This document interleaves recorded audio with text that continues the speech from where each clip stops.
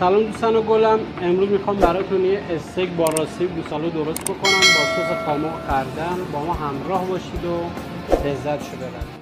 برای درست کردن استیک راسته گوساله اول راستمون رو یه برش می‌زنیم.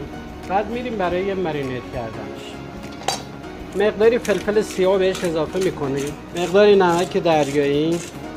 کمی هم رزماری. اول با دست میپیچونیم. عطرش در بیاد. بعد حسابی ورز میدیم. البته این گوشت چون از راسته گوساله است حتما باید دو الی سه روز بمونه تا قشنگ بیاد بشه و نرم بشه. بعد مقداری روغن زیتون بیرو اضافه می‌کنیم برای کاور کردن و نرم کردنش یکی از راه های نرم کردن گوشت اینه که شما گوشت رو به مدت 3 الی 4 روز فریز بکنید تا قشنگ بیاد و نرم بشه و اگر خاصی سریعا این کارو بکنی کافیه مقداری آناناس تازه و رنده کنید به این گوشت اضافه کنید. گوشت شما بسیار نرم و لطیف میشه. و راه بعدیش هم اینه که از روش ایچ کردن استفاده کنید تا گوشت شما بیات و نرم بشه. بریم برای پخت استیک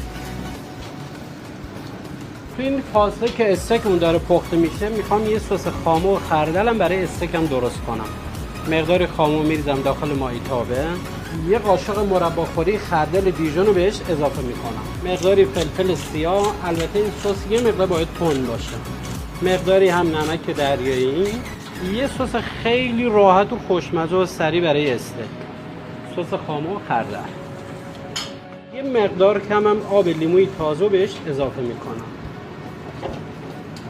حدود یک دقیقه که از زمان پخت یه طرف استیک گذشت برمیگردونیم تا اون طرف دیگرش هم پخته بشه. بهتون میگم چرا من این کارو می‌کنم. چون روی این گریل این استیک به ضخامت پخته نمیشه. من می‌خوام یه روش خیلی راحت رو بهتون یاد بدم. تمام قسمت های روی استیک رو من گریل می‌کنم. حالا با این روشی که من slice می‌کنم باعث میشه هم استیک شما راحت پخته بشه و هم یه کار خیلی قشنگی می‌خوام بهتون یاد بدم.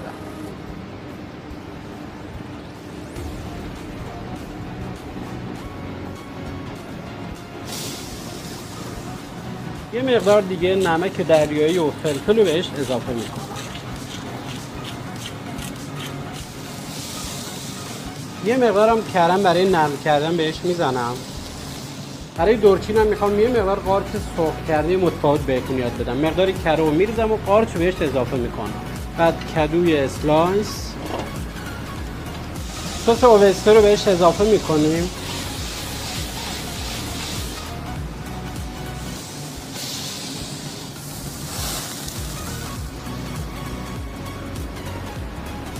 بریم برای برش استیکمون. به این حالت برش می‌زنیم قشنگ. این الان تقریبا پخت این استیک میدیون ول هستش. نگاه کنید. پخته آب داره. این میگم میدیون ول.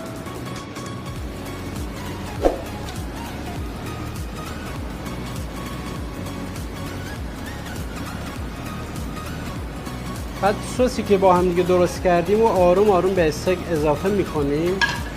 و مقداری هم فلفل سیاه بهش اضافه می‌کنیم که طعم استیک رو خیلی خوشمزه می‌کنه. من می‌دونم تست بکنم به نمانگی از شما. همین یه دونه کوچیکرام. حسابی جاتون خالیه.